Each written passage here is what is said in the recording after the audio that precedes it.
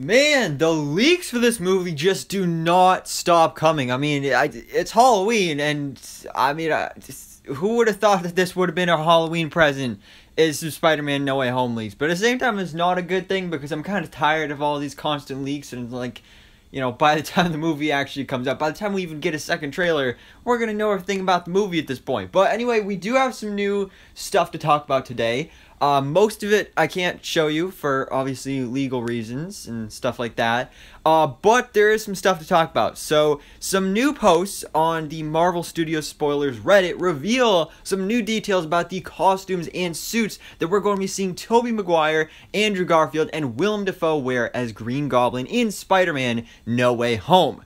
So, as for Tobey and Andrew, as expected and as everybody hoped, they're going to be wearing the same suits from their trilogy movies. Well, except Andrew because he didn't have a trilogy. But uh, Tobey's going to be wearing his suit from Spider-Man 3, except supposedly it's a little brighter with colors, which honestly I think is a great idea because I'm really a big fan of the Tobey Maguire Spider-Man suit, but I always wish that the colors, especially like the red and blue, were more brighter and less saturated. So I like that they're adjusting that for this film. And then as for Andrew, he's to be wearing his same suit from The Amazing Spider-Man 2, which supposedly uh, lines up with that uh, supposed leaked set video of Andrew Garfield, like on the bridge, scaffolding, whatever it was. So, could prove that that's real. We don't still don't know for sure, but definitely good news to hear that those two are going to be wearing their same suits. Tom Holland, obviously, we know what he's wearing. He's getting multiple suits throughout this film. Not only his red and black suit that he wore at the end of Far From Home, but then he's also getting the new uh, integrated suit, which is kind of like a mixture of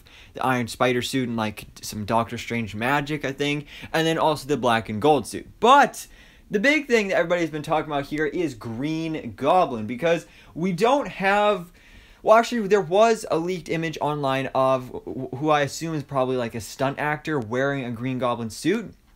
So I can't show you that because that's the actual suit, but I can show you some fan art that has been designed based off this actual suit. So just is going off descriptions and the actual photo of the suit the Green Goblin is going to be wearing in Spider-Man No Way Home, and here it is. And I'm liking it because uh, clearly it's supposed to be the same version of Willem Dafoe, Green Goblin, Norman Osborn from Spider-Man after his death or right before his death, however that exactly works. But as you can see, it's um, they've made some adjustments to make it clear that this is after his death, but also to make some things more comics accurate. Like I love that he has um, just a bunch of battle damage going on here and then it's like almost like you can see the exoskeleton of the green goblin suit has like purple accents to it. So i think that looks amazing because of course green goblin in the comics was all green and purple. So i love that they're integrating some purple in here instead of just the full-on green armor that green goblin wore in that spider-man movie.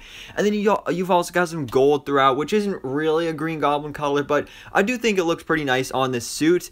Uh, he's also got a little uh, bag thing that that's a classic green goblin thing that we never got to see him have in that movie is just like a, a satchel just a just that tan satchel that goes around his uh his body. I think that's really cool because that that's usually where he keeps his pumpkin bombs. And obviously we know we're going to be seeing pumpkin bombs in this movie based off the spider-man no way home trailer uh but i think it looks great.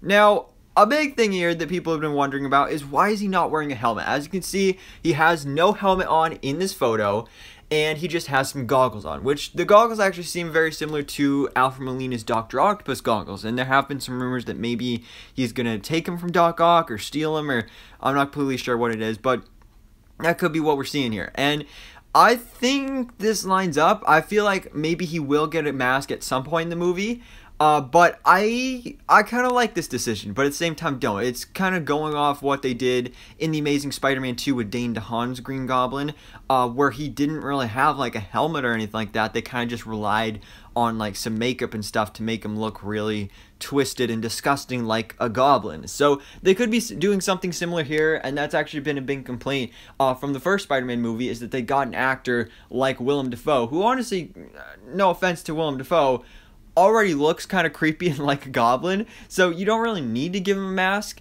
So I'm honestly fine with this idea, but again, I do hope that maybe at some point he gets a mask at this mo- in this movie. Uh, here's another um, fan art design of what he would look like with the mask, and I think he looks pretty cool. I really do hope that he has the mask, at least for part of the movie, maybe just the final battle. We do know that the villains in this movie are going to be going through some stages where it's going to be like where they're first uh, brought into the MCU and they're like post death, but then probably by the end of it, they'll get some upgrades before they have the final battle with the three Spider-Men. But anyways, guys, that is it right there. With these new outfit designs and details and descriptions for Spider-Man No Way Home. Are you excited that Tobey and Andrew are going to be wearing their classic suits from their own respective franchises? And what do you think about this design for Green Goblin? I'm honestly liking it. It's not at all what I expected, uh, but I do like that they're keeping the whole design from the Raimi movies, but making it different and more comics accurate in a good way. Uh, but again, I do really hope that he wears the helmet for at least part of the movie, uh, but we'll have to wait and see on that. But for now, guys, let me know your thoughts in the comments below. What do you think about this brand new news for Spider-Man No Way Home? And anyways, thanks so much for watching. Please drop a like if you enjoyed this video and hit the subscribe button so I can keep up to date on everything goes on in the Marvel life.